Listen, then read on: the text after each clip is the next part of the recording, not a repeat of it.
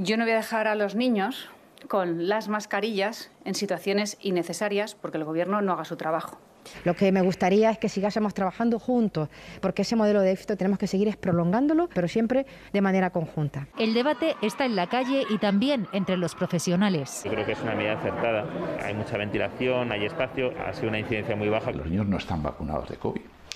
Con lo cual, el nicho de, de la enfermedad va a ser ahora en estos niños. Los padres tienen dudas y creo que también tenemos que tener un detalle con ellos y empezar a darles un poquito de libertad. Yo no estoy de acuerdo porque se juntan los niños y a lo mejor si uno está contagiado puede afectar a los demás. ¿Y quién controla la distancia en el patio? Consideramos que eh, resulta inviable para nosotros garantizar esa distancia de seguridad de al menos 1,5 metros entre alumnos, en los recreos, en los patios. De momento, algunos centros ya han comunicado a las familias que los recreos seguirán con ellas.